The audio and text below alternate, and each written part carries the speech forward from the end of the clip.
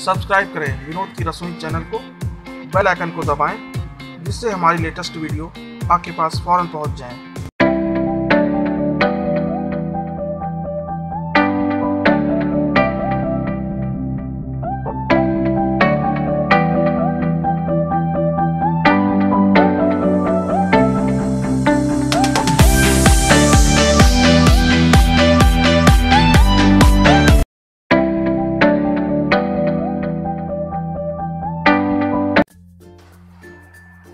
नमस्कार। विनोद की रसोई में आपका स्वागत है। आइए आज हम बनाने जा रहे हैं भरवा करेला। और ये भरवा करेला हम नॉर्मली मसाले जगह इसमें बेसन भी इस्त- इस्तेमाल करेंगे। इसके लिए हमने करीब 500 ग्राम करेला लिया हुआ है। इसको हमने ऊपर से निकाल लिया है इसका छिलका। और छिलका हमने इस, इसकी हम स्टफिंग इसमें भी डालेंगे हम। और लगा के इसको हमने नमक लगा के इसको हमने करीब एक दो घंटे के लिए धूप में रख दिया था। और इसके बाद इसको हम गर्म पानी में इसको बॉईल करेंगे। फिर इसके बाद इसका इसमें चीरा लगा के अंदर का जो बीज वगैरह निकाल लेंगे। और इसमें स्टफिंग के लिए हम प्याज लेंगे। तीन प्याज है बड़े, इसको हमने बारीक काट लिया है। लहसुन है, दस से पंद्रह कनिया है, इसको हमने बारीक काट लिया है। तलने के लिए रिफाइंड और हींग तीन से चार चम्मच। ओ सॉरी तीन से चार चुटकी हींग। और इसमें हमारा मसाला रहेगा खटाई पिसी, जितना आप खट्टा खाना चाहें। उस हिसाब से हमने इसमें दो चम्मच खटाई ली है और एक चम्मच लाल मिर्च, आधा चम्मच हमने इसमें हल्दी लिया और आधी कटोरी यानी पाँच से छः चम्मच इसमें हमने पंचफोड़न मसाला, जिसमें सौंफ, कलौंजी, मेथी और इसमें मेथी है, कलौंजी है, सरसों है, धनिया है, इनको रोस्ट करके हमने पीस लिया है और इसका, इससे पहले भी हमने इसका मसाला आपको बनाना बताया था और ये बेसन है। चार से पाँच चम्मच इसको भी हमने धीमी आँच पे दो से तीन मिनट भून के इसको हमने निकाल लिया है। और नमक स्वाद अनुसार और सबसे पहले हम करेले को बॉयल करेंगे। करेले को हम हल्का सा इसको सॉफ्ट करेंगे।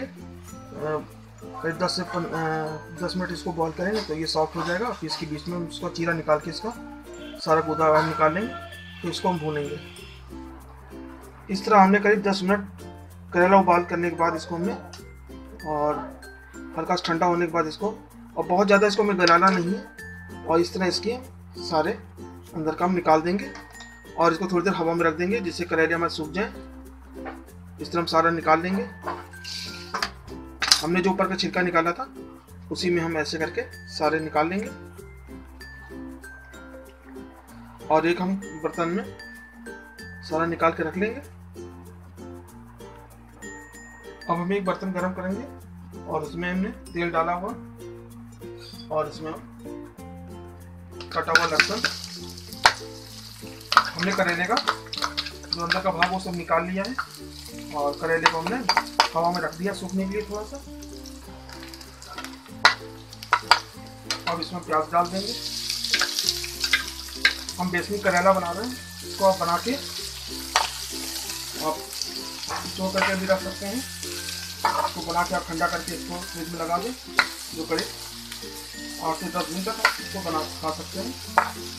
और इसमें करेला बहुत ही बढ़िया लगता है। अगर आपको हमारी वीडियो पसंद आती हो तो आप हमारी वीडियो को लाइक करें और हमारे चैनल को सब्सक्राइब करें। बेल आइकन ज़रूर दबाएँ, जिससे हमारी लेटेस्ट वीडियो आप तक फ़ौरन पहुँचे। जा- बहुत ज़्यादा हमें फ्राई नहीं करना, हल्का सा गुलाबी ही करना है इसको। और इसको हमें तेज आँच पे ही भूनना है। इसको फटाफट हमारा ये प्याज कलर छोड़ दे। प्याज हमारा कलर चेंज हो चुकी है इसका। अब इसमें हींग डाल देंगे और इसमें हम ये कटा हुआ जो हमने करेले का बीच का भाग और ऊपर का भाग भी निकाला था, और इसको मिक्स कर देंगे। और करेला को जब भी आप काटें तो उसमें नमक लगा के आप उसको तीन से घंटे इसको धूप रख दें या ऐसे ही रख दें तो उसका जितना भी कड़वाहट बने सब निकल जाएगा। फिर उसको कायदे से भून लें तो उससे करेले का जो कड़वाहट बने तो खत्म हो जाएगा। अब इसको हम धीमी आँच पे इसको भून लेंगे और इसको हम धीमी धीमी आँच पे भूनेंगे और इसका पानी बिल्कुल सुखा लेंगे आप इसको सफ़र पे भी आप ले जा सकते हैं कहीं आपको जाना है और रास्ते के सफ़र के लिए आप करेला बना के इस तरह बेसनी करेला आप इसको सफ़र में भी ले जा सकते हैं। और वैसे तो आप बिना बेसन का ही बना सकती हैं। और बेसन हमने भून के इसमें डालेंगे। तो बहुत ही बढ़िया लगता है खाने में। और इसका स्वाद ही अलग आता है। अब इसमें हम नमक डाल देंगे। नमक हम करीब एक चम्मच डाल देंगे। और इसको और इसमें हम पंचपोड़ा मसाला यानी करेले का मसाला। और इसको कलौजी का भी मसाला बोलते हैं। इसको डाल के भून लेंगे। इन मसालों को भूनने के बाद हम इसमें पिसी खटाई हल्दी और मिर्ची पाउडर डाल देंगे। और इसको धीमी आँच पे इसको हमने भून लिया है। अब इसमें हम बेसन भुना हुआ डाल देंगे और इसको भी हम एक से दो मिनट और भूनेंगे।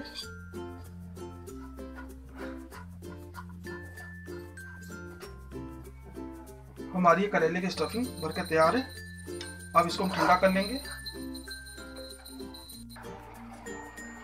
हमारे करेले की स्टफिंग ठंडी हो गई और करेले भी सूख गए हैं। अब इस तरह हम करेला निकाल लेंगे। देखिए हमने करेले के अंदर का सारा निकाल लिया था और इसको हम इसकी स्टफिंग हम इस तरह से भर के हम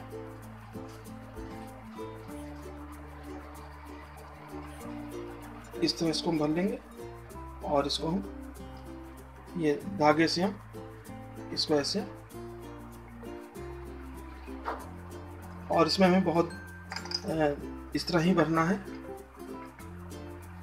और इस तरह इसको दबा देंगे और तागा इस तरह तोड़ के रख ले। ये हमारा, देखिए करेला इस तरह भर के तैयार है। इस तरह और करेले हम सब भर लेंगे। और एक तरफ़ हमने गैस पे कढ़ाई गर्म होने के लिए रख दी इस तरह का करेला बहुत ही स्वादिष्ट लगता है। आप बेसन डाल के बना के एक बार देखेंगे तो जब आप खाएँगे, खुद ही आपको मालूम हो जाएगा। इस तरह का बेसन का करेला बहुत बढ़िया लगता है। और इस तरह हम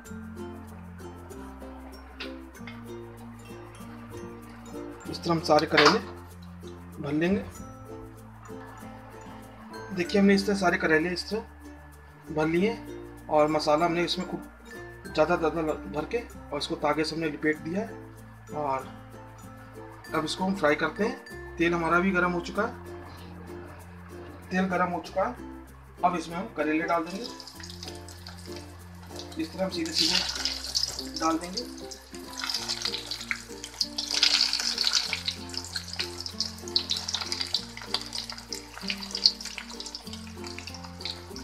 और इसको हम धीमी धीमी आँच पे इसको फ्राई करेंगे।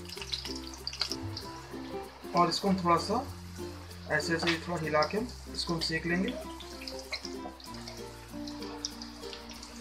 और इसको हम थोड़ा सा पलट पलट के भी इसको हम थोड़ा सा सेक लेंगे। और इसको हम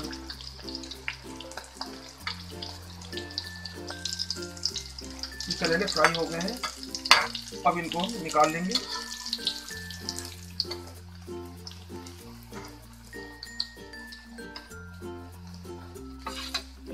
लाल कुरकुरे सेक लिए हैं और इनको ठंडा करके आप फ्रिज में भी रख सकते हैं इसको।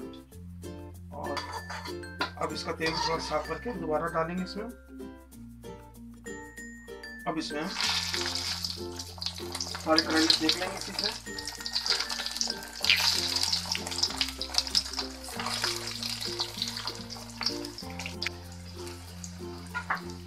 लीजिए, मैंने दूसरे भी बेसन करेले तो फ्राई कर लिए।